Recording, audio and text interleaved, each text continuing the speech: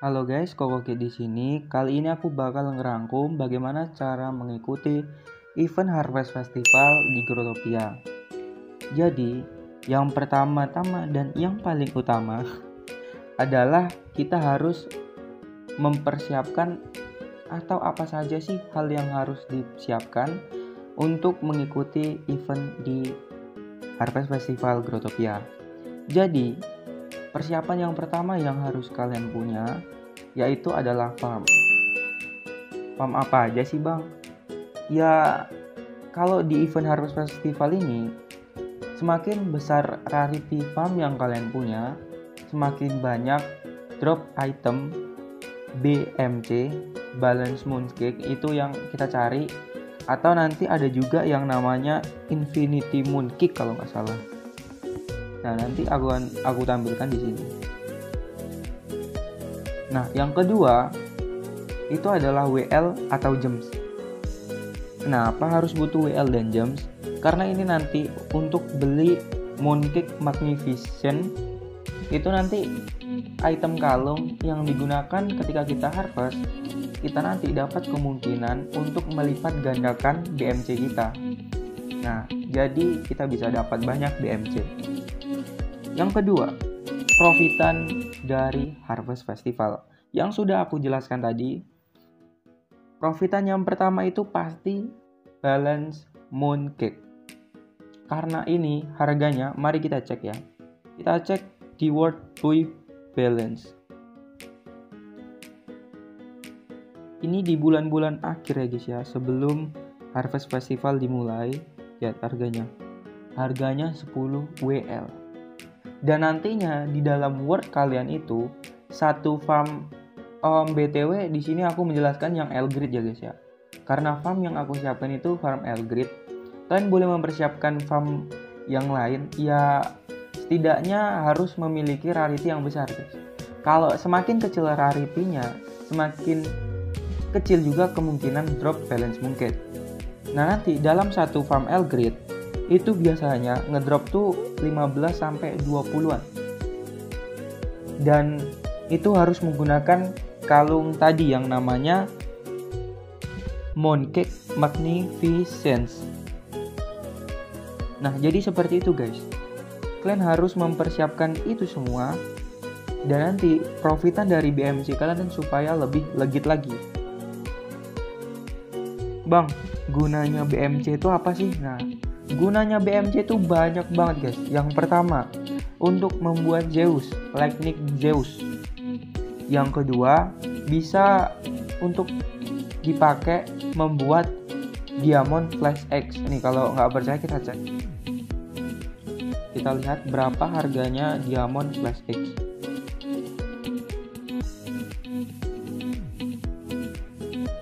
Sel 8 dia ada dua 8 DL guys ya.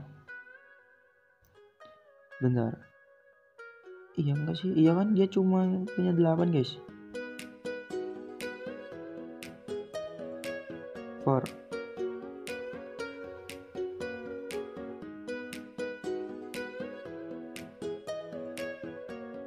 tujuh sembilan puluh guys. Lihat. Kalau misalnya kalian buat itu kalian harus pandai investasi guys. Karena nanti di awal pembuatannya. Nah, ini lanjut poin ketiga nih. Ada kenaikan dan dropping item. Yang kenaikan dulu ya. Yang kenaikan dulu tuh ada GKG, Ghost King Glory. Itu item crown.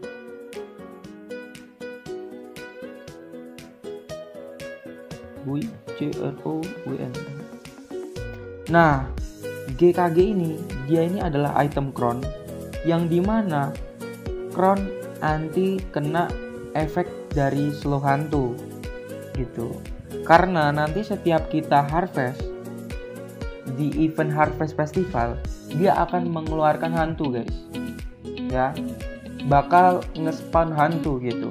Jadi untuk supaya kita tidak lemot saat mengharvest kita memerlukan GKG gitu atau enggak ya kalau misalnya kita masih belum mampu untuk beli ya kita harus sabar deh karena bakal lemot banget dan bakal lama banget untuk ngarvestnya karena bakal banyak hantu nanti yang berkeliaran yang spawn di world kita.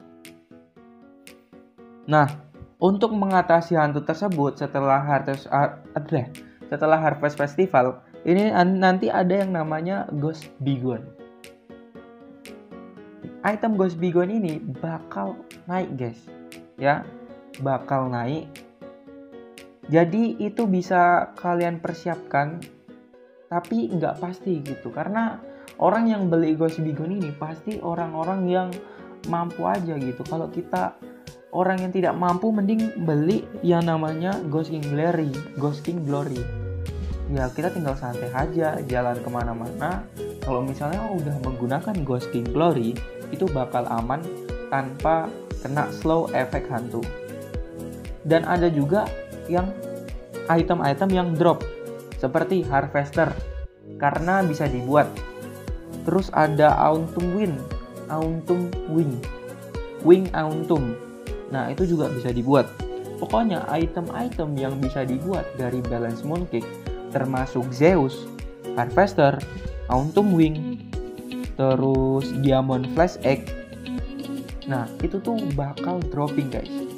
Jadi, Bang, kenapa itu bisa kita manfaatkan? Eh eh sorry guys.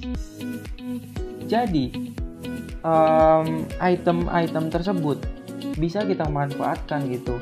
Saat dropping-droppingnya bisa kita invest dan kita simpan mungkin untuk tahun depan itu harganya bakal naik guys ya. Jadi harga itu bakal naik sesuai berjalannya waktu. Jadi kalau misalnya kalian membuat ini atau kalian pengen pakai ini dan kalian membuat ini untuk set kalian atau apalah itu ya kalian nggak perlu takut karena ke depannya untuk dari waktu ke waktu itu otomatis harganya pasti naik juga.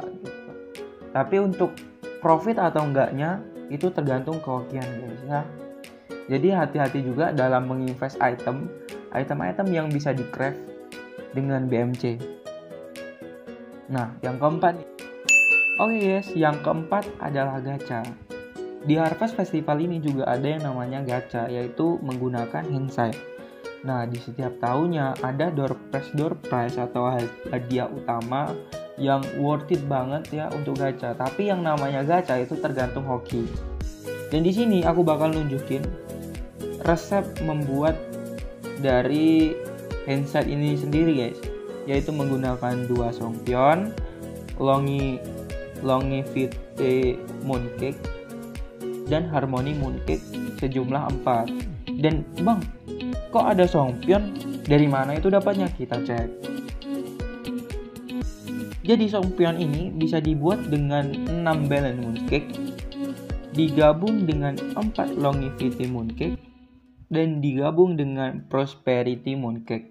Nah, nanti videonya seperti ini guys. Nah, begitu ya cara komennya. Jadi bagi yang bertanya-tanya, ya kalian bisa tahu lah ya. Oke, kita balik lagi ke GT-nya. Oke guys, yang terakhir adalah jadwal. Bang, kapan sih jadwal Harvest Festival? Banyak banget yang bertanya seperti itu. Eh, nggak ding karena aku baru ya. Kayaknya nggak mungkin banyak gitu. Ya pokoknya seperti itu lah ya. Jadi Harvest Festival biasanya itu di tanggal-tanggal pertengahan September atau kadang yang kalau nggak salah 2018 entah 2019 itu ada di Oktober awal. Jadi ya antara pertengahan dan akhir dan awal Oktober. Tapi bisa juga nanti di awal September karena Growtopia ini sangat-sangat memusingkan guys ya. Kemarin aja di summer event itu karena ada staff yang sakit di pihak Ubisoft itu gitu enggak loh guys memang baik banget Ubisoft ini ya jadi mungkin segitu saja um, penjelasan saya tentang rangkuman Harvest Festival. Jadi bagi kalian yang masih nggak paham, kalian bisa tanya di kolom komentar. Nanti bakal aku jawab apabila aku mengerti, guys ya. Jadi jangan lupa tinggalkan jejak dengan cara like, comment, dan subscribe channel Kofit ini untuk membantu ya guys ya youtuber-youtuber kecil Grotopia gitu supaya saya bisa makan guys. Oke. Dan aku juga bakal giveaway setiap 1000 subscriber kelipatan 1000 subscriber ya aku bakal giveaway ya nantilah kita lihat ya guys ya tapi giveaway ini bukan giveaway yang kecil-kecil guys ya jadi jangan lupa like, comment, dan subscribe. Sampai jumpa di next video.